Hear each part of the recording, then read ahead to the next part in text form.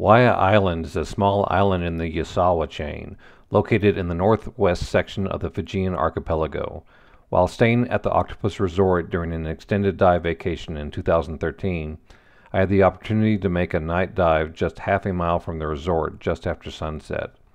Night diving always gives a different perspective from daytime diving because it allows you to see the behavior of the daytime wildlife as they hide from their nocturnal predators in the small cracks and crevices of the reef.